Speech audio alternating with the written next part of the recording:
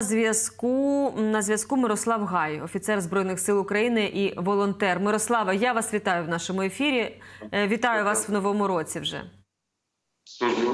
Доброго дня. Дякую, що прийшли. Ми сьогодні наш ранок е, почали з розмови про можливий наступ е, Путіна, новий наступ Путіна, про який зараз говорять всі. Принаймні, ось російські телеграм-канали, які я читаю в силу своєї професії, там пишуть про те, що у них, начебто, все готово е, і до мобілізації до нової хвилі, і до можливого закриття кордонів. Які ваші думки з цього приводу? Зокрема, чи дійсно Путін готується до повномасштабного наступу на певних напрямках? Однозначно, і воєнні експерти, і політичні експерти говорять про те, що Російська Федерація готується до е, ну, чергової хвилі, е, чергового повномасштабного наступу в Україні. Він вже відбувся. Зараз була певна пауза, тому що Російська Федерація не досягла своїх стратегічних цілей в Україні, але вони зрозуміли, що їм не вистачає сил. Вони зараз проводили мобілізацію, перегрупування. Я буде ще одна хвиля мобілізації. Вони проводили заходи з розконсервації е, озброєння е, і ремонту техніки, перегрупування своїх військ, і в принципі, і навіть те, що говорить і головнокомандувач збройних сил України Валерій Залужний, те, що говорить е, західна розвідка, і те, що ми спостерігаємо на фронті, що деескалації немає. Противник по деяких напрямках е, посилює свої зусилля, накопичує сили та засоби, не відмовляється від е, ракетних ударів по цивільній інфраструктурі. Тобто, однозначно вони будуть продовжувати. І е, як швидко це буде? Ну я думаю, що е, Путін поспішає, тому що е, час грає е, на Україну, час на боці України. От і е, Путіну бажано було б якнайшвидше е, вирішити свої стратегічні задачі в Україні. Я сумніваюся, що йому це вдасться, але е, на жаль, нас ще чекає довга кривава бійка з Росією. А як ви вважаєте, 5 січня пам'ятаєте, Резніков говорив про те, що в, на території Російської Федерації закриють кордони. Сьогодні один експерт перед вами так був Сергій Гармаш. Він говорить, що е, ну навряд чи це станеться, навряд чи вони так знаєте офіційно і з пафосом оголосять нову хвилю мобілізації, бо фактично нема чим похвалитися. Як ви вважаєте, це буде прихована така, е, будуть приховано збіра, збирати? е, людей вдягати їх військову форму, відправляти на смерть, чи все ж таки інформаційно якось ну, підсвітять цю тему? А нам не потрібно ніяк з вами вважати, вигадувати. 5 січня завтра. Ми завтра побачимо з вами. Це я думаю на предмет того, знаєте, чи е, не зупиняє е, людей, росіян маю на увазі, от те, що хаймерси наші як працюють, б'ють е, по всіх можливих складах. Нікого- це не зупиняє. Всі, хто хотіли виїхати і не брати участь в цій кривавій, абсолютно дикунській війні, вони виїхали, утікали. От хто не встиг е, виїхати, ховався від воєнкоматів, хто хотів підпалити військкомат в Росії, той підпалив. А всі інші е, спокійно йдуть на убій. Хтось свідомо, от е, а хто хтось за гроші, а хтось йде, тому що не здатний психологічно пручатися цього. Звичайно, можна поставити під сумнів, що це безздатні люди, безздатна армія, в тому сенсі, що набрати ось таку масу народу, дати їм зброю зразка ну, там 40-х, 50-х років і кинути в бій. е, При тому, що Росія понесла серйозні втрати в офіцерському складі, особливо середньої е, ланки, малої ланки, це лейтенанти, е, це капітани, майори. Ну от ми бачили, що збройні сили знищили і більше восьми генералів за цю війну.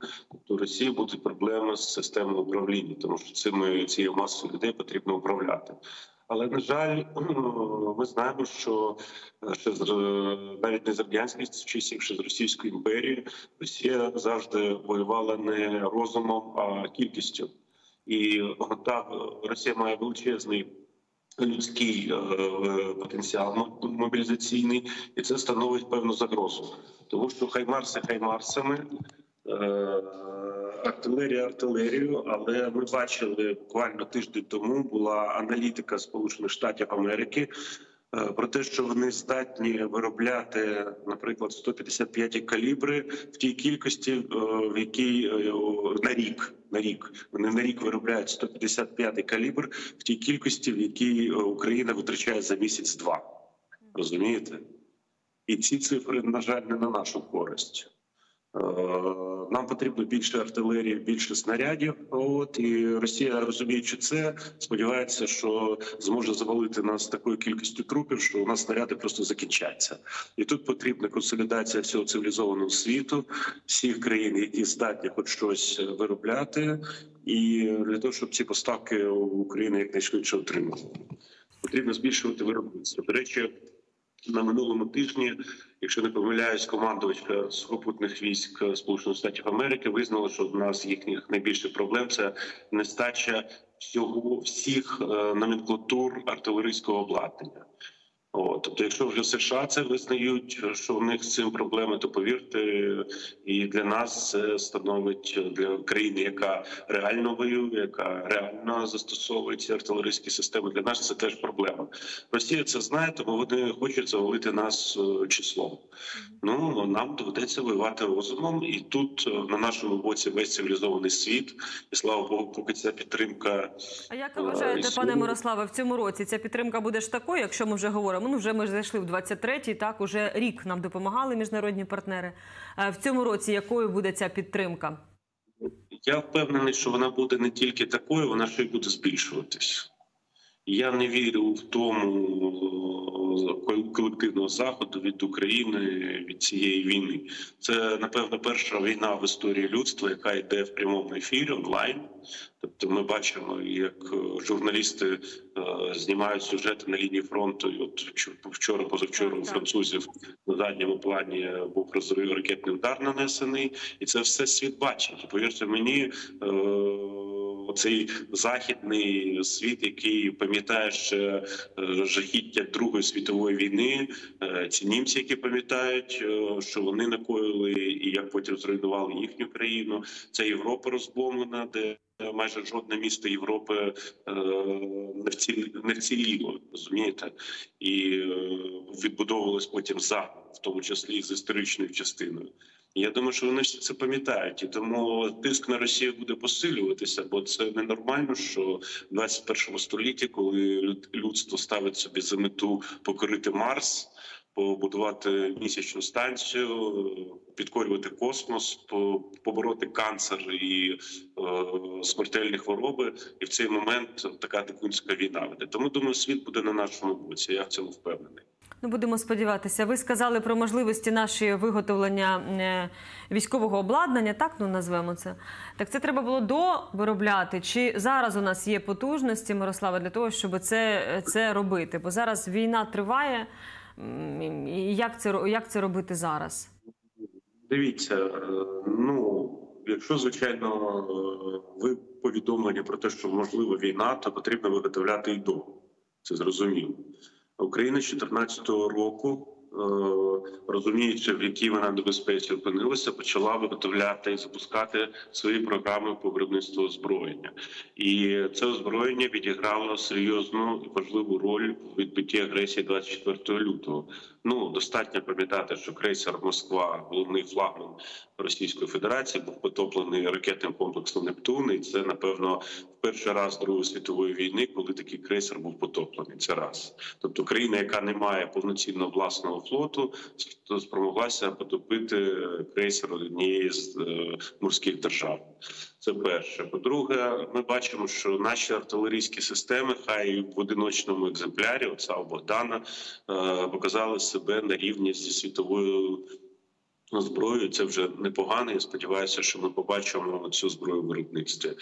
Потім наші противотанкові комплекси виявилися е, ну такі, як Стугна, от як Скіф, е, його експортна версія. Вони виявилися в деяких е, ну в багатьох параметрах кращими ніж джевеліни, тому що джевеліни у нас б'ють на 2,5 кілометри, Стугна б'є до 5 кілометрів. Відповідно, ця дистанція дозволяла уберегти людей і наявність двох типів ракет дозволяла розширити е, методи тактичного застосування. Е, І е, поки е, американці, США, там Європа думали, гадали, що Україна програє за 2-3 дні, і тому не варто нам давати серйозні зразки озброєння, тому ніхто не поспішав нас озброювати. То от саме українські зразки озброєння допомогли ну українські і радянські модифіковані допомогли зупиняти цю агресію, протриматись нам перші критичні тижні місяці, поки захід не зрозумів, що помилився і не відкрив для нас е, оці двері. По отриманню зброї не підписані були закони про ленд-ліз, який нагадаю більше року після підписання майже не працював. Тобто його підписали влітку, а запрацював він те, що і досі може не повноцінно запрацював.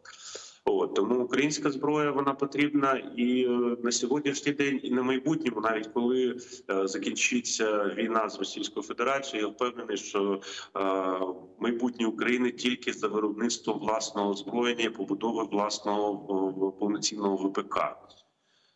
От щось маємо робити повністю самостійно в майбутньому, щось в кооперації з міжнародним співтовариством, яке це займається. Але майбутнє ми маємо мати власну зброю, навчену армію.